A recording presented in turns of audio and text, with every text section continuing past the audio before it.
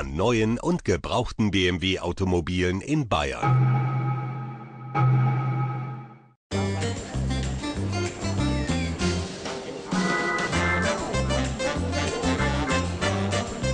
Der Münchner Stadtrundgang mit Christopher Griebel.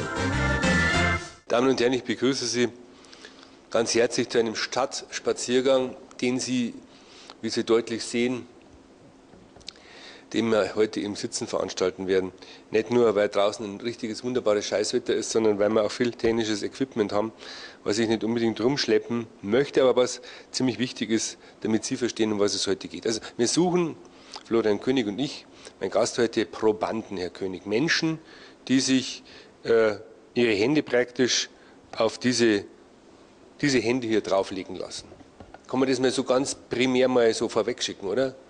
Das stimmt ja de facto. Ähm, wir wollen äh, in den nächsten Wochen und Monaten versuchen, über eine wissenschaftlich begleitete Studie äh, die Körperreaktion des Menschen auf Wetter einzufangen. Und nichts geht schöner als über die sensiblen äußeren äh, Organe der Hände, die sogenannten Reflexendzonen, äh, Sie kennen ja die traditionell chinesische Medizin und Akupunktur, dass man über diese Endpunkte in den Händen äh, die Körperreaktion erfasst und äh, man kann da Homöopathie und dergleichen mehr mit aufzeigen. Die Wirkung äh, kann man mit diesen Händen natürlich auch hier äh, die Körperreaktion auf unterschiedliche Wetterlagen erfassen und genau das ist äh, der Ansatz, was hier praktisch mit einer Studie verfolgt werden soll. Der Herr König behauptet nämlich tatsächlich, Damen und Herren, ich habe es nicht überprüft, dass er mithält diesem Gerät hier äh, dem menschlichen Körper das Gefühl geben kann, dass es wunderbares, tolles, fantastisches Wetter hat. Ja, dieses kleine Gerät wird dann um den Hals getragen und es sendet etwas aus, was Sie vorher, wenn ich es richtig verstanden habe, in der Atmosphäre aufzeichnen, nämlich Entladungen, Wellen, die entstehen, wenn es eben schönes Wetter ist, oder diese Sphärix. Ja, ist in der Tat so. Ähm, jeder Mensch lernt in der Physik, dass äh, letztendlich durch die Luftbewegung, durch Thermik, äh, Raumladungszonen hin und her geschoben werden und äh, bei sehr starken Winden, so wie zum Beispiel heute, äh, ist eine sehr starke Sphärix-Aktivität auch im Lande. Das sind Entladungen, die weltweit permanent abgehen. Und der bekannteste von diesen Entladungen ist natürlich der sichtbare Gewitterblitz.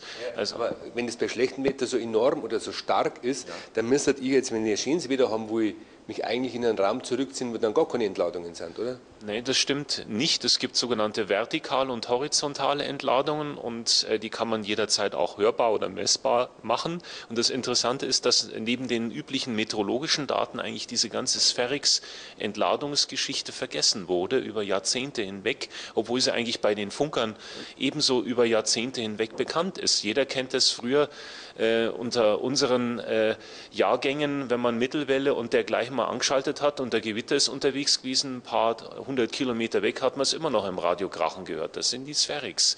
was wir jetzt im Folgenden machen, wir machen jetzt eine kleine Pause und dann haben wir vor, einen Doppel, einen Versuch mit mir zu machen, nämlich wie mein Körper, also die elektrischen Ströme in meinen Meridianenden sich dahingehend unterscheiden, ob jetzt dieses Gerät da eingeschaltet ist oder nicht. Und dann sehen wir ja, wie es auf mich wirkt, ob es auf mich wirkt. Äh, da haben wir jetzt noch nichts gemacht. Ich wollte auch nicht das zu intensiv vorbereiten, weil eine gesunde Portion Misstrauen ist nie verkehrt, wenn man auf so Leute wie den Herrn König trifft.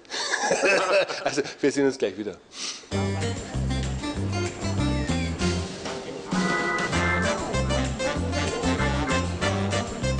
Der Münchner Stadtrundgang mit Christopher Griebel.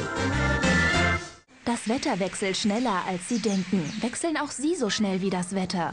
Montana, Ihr Anbieter für günstiges Heizöl und Erdgas in München und ganz Bayern.